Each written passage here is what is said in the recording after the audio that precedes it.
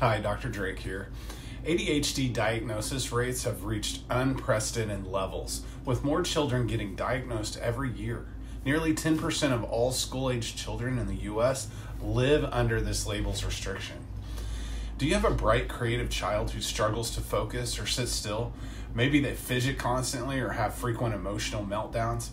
As a parent, your heart breaks when you see them struggling in school or have a hard time making friends. You've likely tried various behavioral programs, elimination diets, supplements, and maybe even stimulant medications, hoping something works. But if lasting relief remains elusive, an overlooked root cause might be the blame an impaired vagus nerve.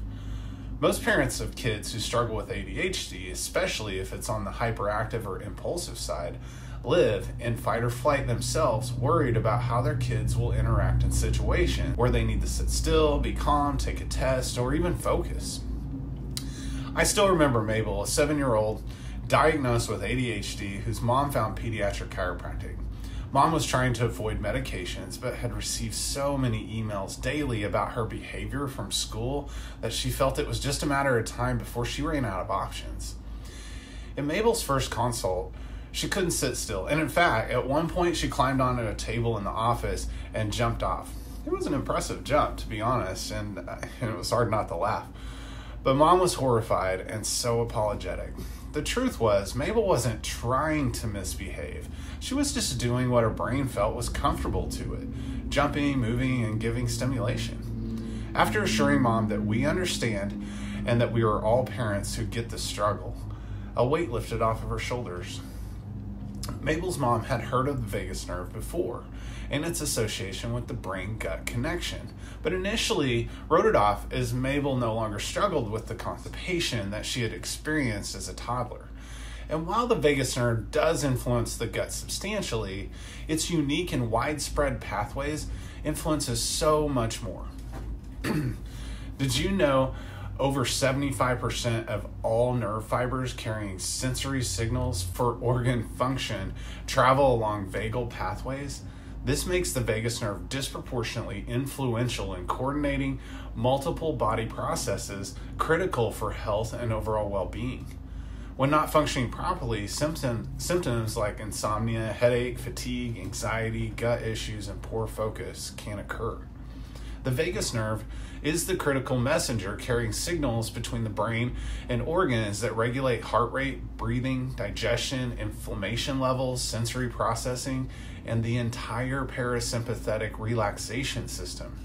When this vagal superhighway develops dysfunction from early trauma, chronic stress, or poor nervous system communication, children display all the hallmarks of ADHD. Research now clearly ties vagus impairment to attention focus challenges, hyperactivity, sleep and digestion disorders, emotional dysregulation, and much, much more. If, you, if you've exhausted typical treatment options without results or want to avoid medication side effects altogether, specialized testing and natural support and stimulation for the vagus nerve provide new hope for families who want to put drugs and medication as a last resort.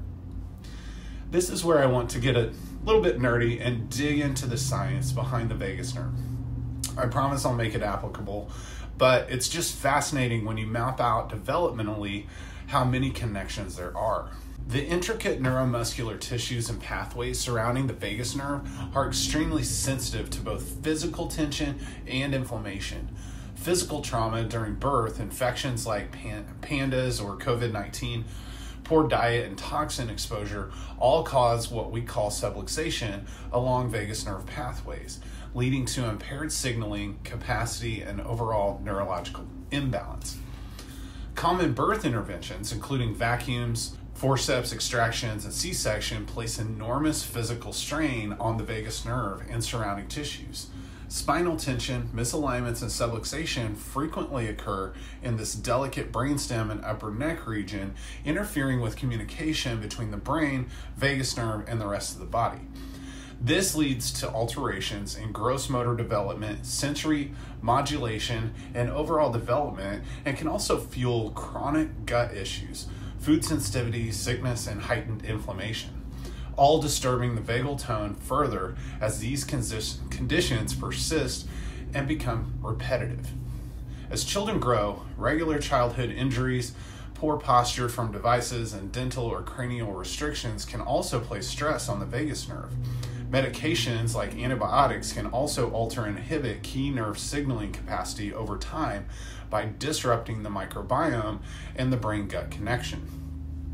Gradually, the rest and digest system stays suppressed and underactive. Symptoms like headache, anxiety, poor stamina, intestinal discomfort, sleeplessness, and heart palpitations increase. Attention span, impulse control, and emotional regulation falter the hallmark struggles of ADHD.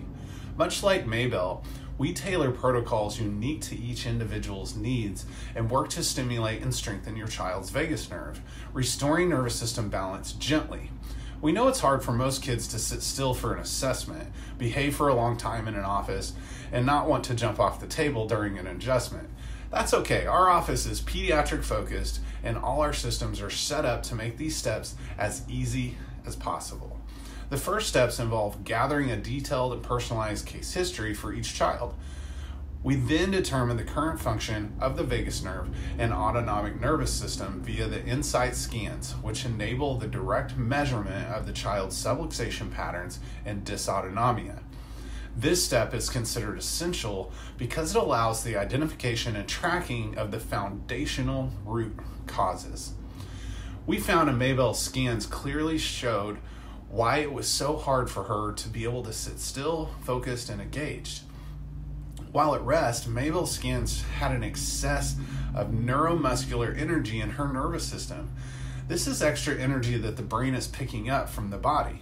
It's telling her cerebellum and central processing system that she should move fast, to keep a busy brain, as that movement and attention span, or lack thereof, matches the input the brain is receiving. We took this scan along with two others, plus Mabel's clinical history, and created a customized care plan that mapped out how long it would take, how frequently we should start with adjustments. We then utilized precise, neurologically focused adjustments to address subluxation, release stuck fight or flight tension, activate the vagus nerve, and improve communication between the brain and the rest of the body the first response most children like Mabel have to this specialized form of chiropractic adjustments is better sleep, more calm, and improved sensory regulation. Mabel's mom immediately saw an immediate impact on sleep. She went from not being able to go to sleep before 9 p.m. to falling asleep when mom was reading her a bedtime story, and instead of waking up at 6 a.m., mom was having to wake her up to get ready for school. Mabel's story turned into fewer emails from the school, and now, six months later, teachers are in awe at the changes and are curious how Mabel calmed without medication. So cool. If you're ready to address the root cause of your child's neurological challenges head on, we would love to help. Safer, more natural options exist that address vagus nerve dysfunction and improve neurological communication and overall function. Please share this with family, parents, and Facebook groups who need to see this. Uh, click our link down below for more information. Uh, we'll be here to help. Thanks.